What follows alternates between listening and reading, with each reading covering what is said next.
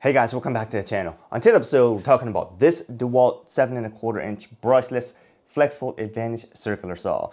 This is um, kind of sits in between their 18 volt or 20 volt max and their FlexVolt lineup. It kind of, you know, gives you another option or bridges the gap between the two. Anyways, we're gonna go over this saw top to bottom, see how it stacks up against some of the other tools on the market. Stick with us.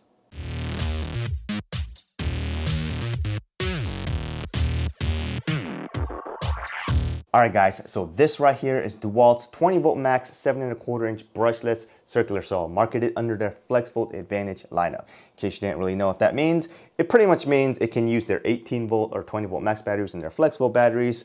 And if you use a FlexVolt battery, it gets more power than, uh, or generates more power than it would if you were using a 20 volt max battery. That's pretty much what FlexVolt Advantage means. So FlexVolt Advantage right now is only sold at the depot. And if you're at Lowe's, it's gonna be called pretty much Power Detect. But they both generally have a feature where it's like if you're under load and it's draw, drawing power from the battery and the resistance is remaining pretty much low, it's able to draw pretty much more power, able allowing the cell, the uh, tools to produce more power. That's pretty much what that means. So anyways, the point is um, they're you know, kind of expanding their lineup or whatnot because they feel like, you know, if you're if you're in one lineup, like the FlexVolt lineup or in your 20 volt max lineup, they don't want to you know, make you get stuck in one or two of the options and they kind of give you another option to buy one that bridges the gap, right? So apparently this saw produces a lot more power, according to their marketing, uh, when using a FlexVolt battery, okay? So no matter which battery you use, a 20 volt max or a FlexVolt max or you know, FlexVolt battery, um, this saw pretty much still operates at its 18 volt level, okay?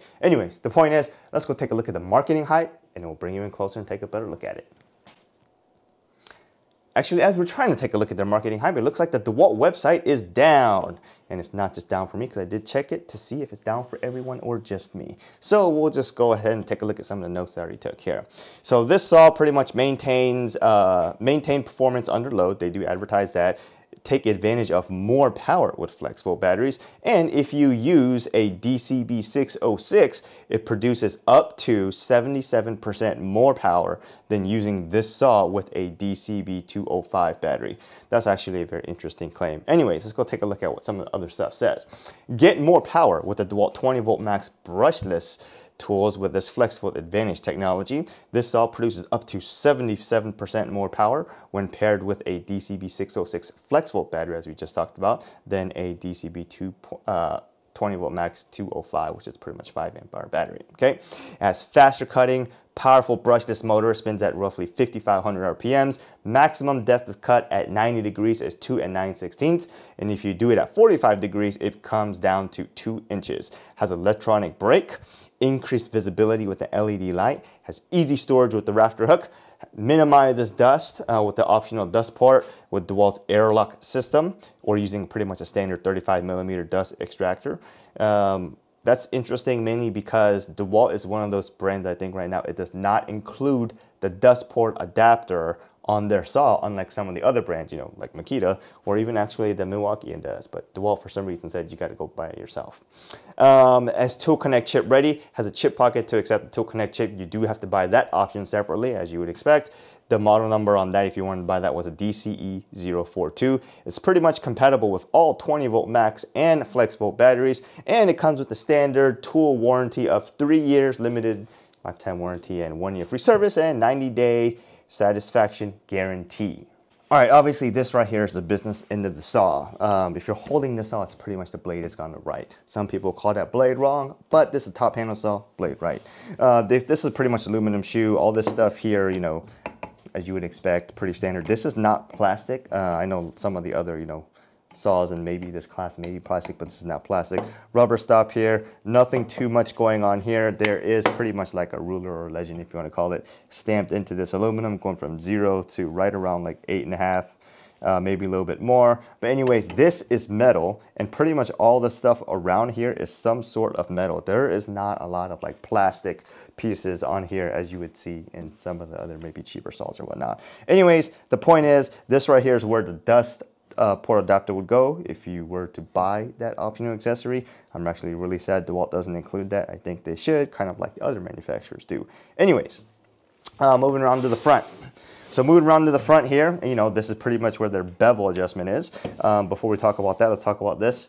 spindle lock, that's how you would change the blade, you know, just lock it, change the blade out. Anyways, on this um, bevel adjustment, it does, it does have some positive detents, right? So if we go here, it will stop, but it's kind of easy to overgo if you're just moving really fast. Um, I could eventually see it, you know, wearing out over time and you may not feel it, but haven't had too much of that issue anytime recently.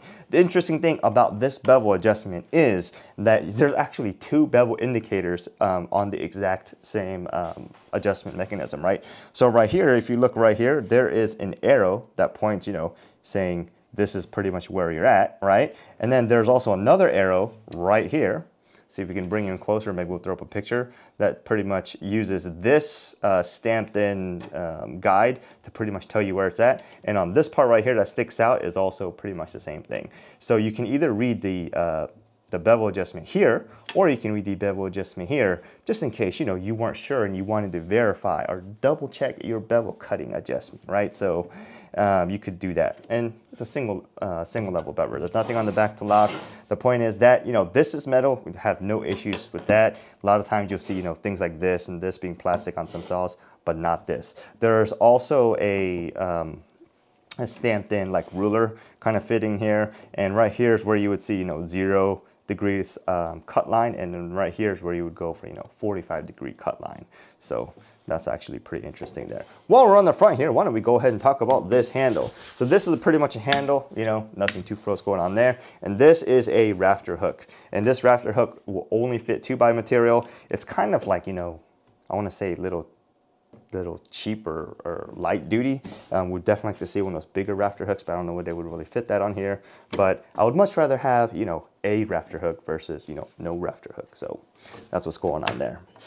Um, going on around to the back side here, this is where you would put in a, you know, a rip guide, but you would also have to buy the bolt or a wing wing bolt, I guess you want to call it. If you want to use that, it is not included on here. You do have to buy that separately. Um, going around to the other side here, you know, just pretty much logos and emblems and marketing. This stuff right here is rubber overmolded, so just in case, you know, you put it down on this side, it doesn't slide around too much. The other thing to note here is, this is the depth guide adjustment, right? So this um, knob or lever right here is actually plastic, but all this other stuff behind it is actually metal. Um, usually, sometimes you probably give it a hard time for this thing being plastic, but this actually feels really solid. Not like that Bosch uh, Profactor saw that we reviewed the other time, but this, even though it's plastic, it has no doubt that it's gonna hold up, right? So bevel it, you just poke it up, down, up, standard, no frills, no thrills, right? Moving around to the back side here. So this little uh, black part right here is where the tool connect chip would go. You know, you just take this out, put it in, bam, ready to go. And right here is where your um, blade wrench is. It is does have two sides, you know, beveled on this side. Not sure if you can see that beveled on this side, flat on this side.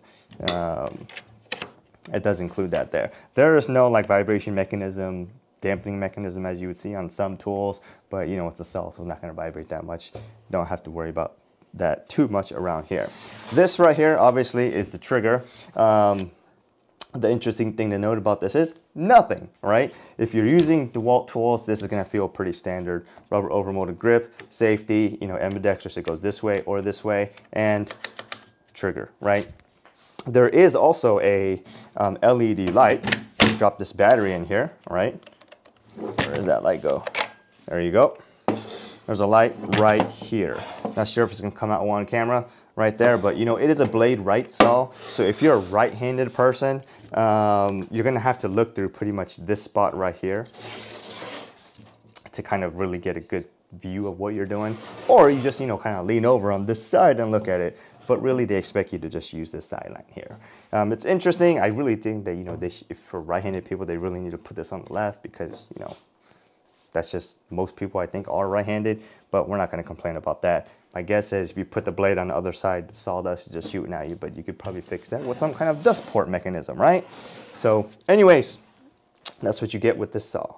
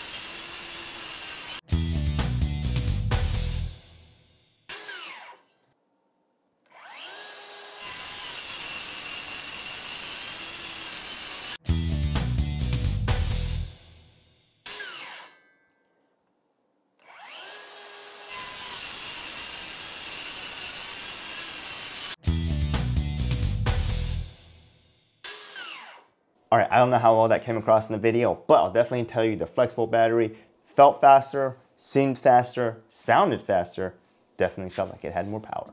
Let's go take a look at the numbers.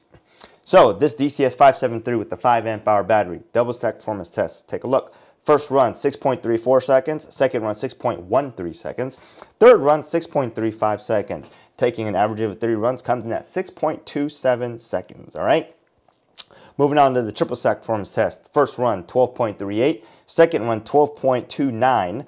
Third run, 12.41. And if you take an average of the three, it comes in at 12.36 seconds, all right? So remember, this saw has a uh, RPM speed of around 5,500. So, you know, it may not be able to compete with 5,800 RPM or even 6,000 RPM cells. Anyways, the point is, how, let's go take a look at the total performance number. How do we get that? We pretty much sum up the two averages.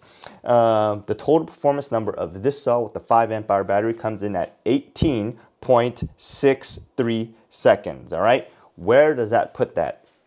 That puts this saw with this battery right around 20th place, right behind the Milwaukee 2830-20, which is the M18 fuel uh, saw with a 5 amp hour battery, which had roughly 15.84. And, you know, in front of the Bosch GKS 18V25C Pro Factor with a 4 amp hour battery, right? So um, it kind of sits right there. You know, uh, that's pretty much what you would expect, I would think, right? So uh, like I said earlier, the flex volt battery definitely felt faster. So let's go take a look at those numbers.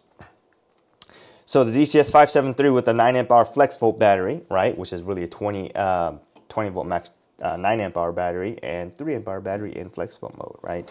So first run on a double stack test, 3.55 seconds. Second run, 3.43 seconds. Third run, 3.46 seconds.